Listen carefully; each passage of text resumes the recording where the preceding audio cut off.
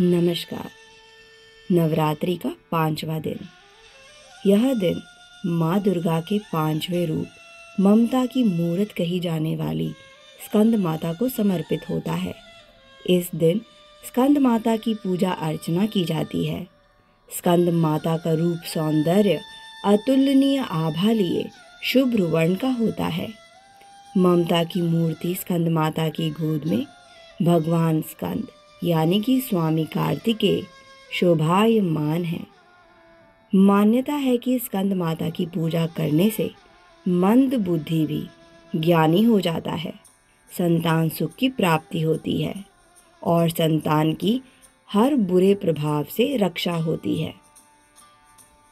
पर्वतराज की पुत्री होने के कारण माँ का नाम पार्वती है। शिव की पत्नी होने के कारण माँ का नाम महेश्वरी है।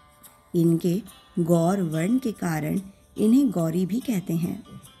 अपने पुत्र से बेहद प्रेम होने के कारण माँ को स्कंद माता भी कहा जाता है। साथ ही में पद्मासना देवी और विद्यावाहिनी दुर्गा भी माँ के ही नाम है। भगवान स्कंद बाल रूप में माँ की गोद में विराजित हैं। माँ की चार भुजाएँ हैं। दाईं तरफ़ की ऊपर वाली भुजा से माँ ने अपने पुत्र स्कंद को गोद में पकड़ा है। बाईं तरफ़ की ऊपर वाली भुजा बरद मुद्रा में है और दाईं तरफ़ की नीचे वाली भुजा और बाईं तरफ़ की नीचे वाली भुजा में कमल का पुष्प सुशोभित है। इनका वर्ण एकदम श्वेत है और ये स्वयं कमल के आसन पर विराजमान है, इसीलिए माँ को पद्मासना भी कहते हैं और माँ सिंह पर सवार होती हैं। कंद माता प्रसिद्ध देवासुर संग्राम में देवताओं की सेनापति बनी थी, जिस वजह से पुराणों में कुमार और शक्ति कहकर इनकी महिमा का वर्णन किया जाता है। एक और पौराणिक मान्यता के अनुसार स्कंद माता माँ पार्वती का ही रौद्र रूप है।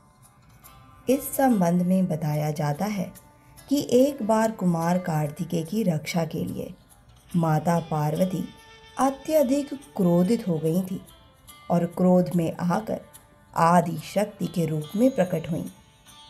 तब देवराज इंद्र माँ के इस रूप को देखकर भय से कांपने लगे और फिर उनके चरणों में गिरकर अपने प्राणों के लिए क्षमा याचना करने लगे।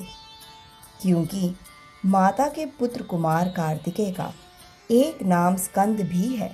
इसीलिए सभी देवतागण माँ दुर्गा को मनाने के लिए उनके इस रूप को स्कंद माता कहकर पुकारने लगे और उनकी स्तुति करने लगे।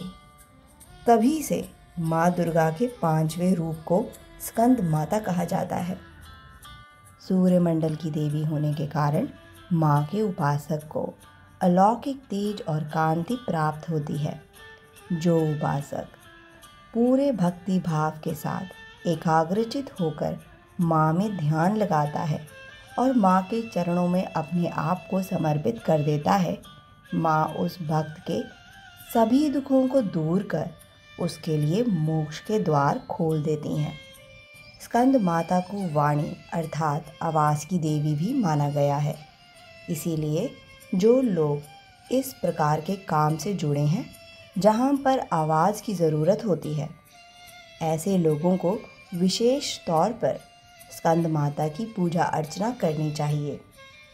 ऐसा माना जाता है कि माँ को लाल रंग बहुत ही प्रिय है तो हो सके तो माँ को लाल गुलाब के फूल अर्पित करें। साथ ही में मान्यता है कि माँ का व्रत और पूजा पाठ करने से पापों का नाश होता है संतानहीन को संतान की प्राप्ति होती है और सभी कार्यों में सफलता मिलती है। धन्यवाद।